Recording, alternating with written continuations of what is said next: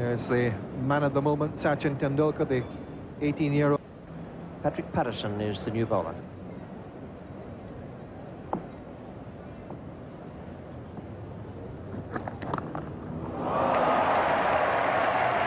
There's a little master.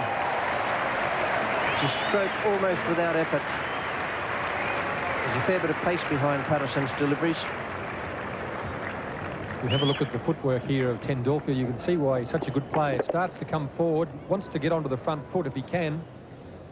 But very pick, quickly picked up that that was short of a length. Onto the back foot, comprehensively hit away off the middle of the bat. Over the infield, one bounce, four runs. And again, didn't quite time that as well. That is still raced away, didn't hit it as high. And it wasn't all that short either. Yes, the timing wasn't quite right. He got on the lower half of the the bat. Still well clear of the infield. Very quick reactions once again. Crease. A better shot. Timed right off the meat of the bat. Brings up the 100 for India with 182 balls. Must have some batting left. Way to a terrible start. One just gets the feeling that if Tendulkar and Kapil Dev can survive, they could uh, get a rush on here. But the West Indian bowler is not giving them too much width generally. In the World Series uh, this year, has only made 150. Well, that's in the air. It's coming down to third man. This will be out. Marshall won't drop this. Oh, he's done it. He totally misjudged that. It really was pretty straightforward. And uh, it ended up just in front of him, and he had to really lunge forward. And that's a bad miss. A terrible effort.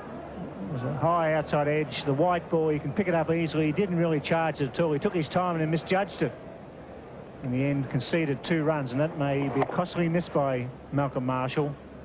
Uh, really was catchable. He didn't attack the ball at all. He's misjudged that badly. The white ball, no excuses whatsoever.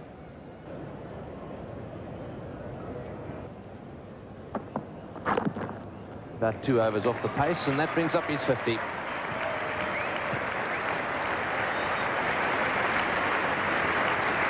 Eighty-six balls, well played too.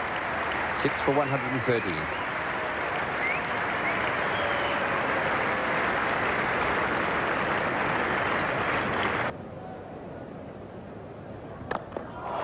And that's in the air, catch down there for Anthony. He holds on to it, the substitute, and Tendulkar's fine innings is over. And a deserving wicket for Andy Cummins, who's been the pick of the West Indies bowlers.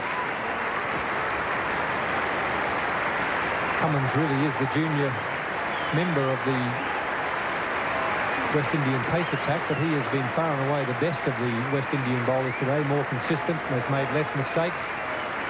He's picked up the wicket of Tendulkar here. Tendulkar charging, not quite catching it in the middle of the bat, just a bit low on the face of the bat. And Hamesh Anthony is out there as the replacement fielder for Patrick Patterson. India now 8 for 178.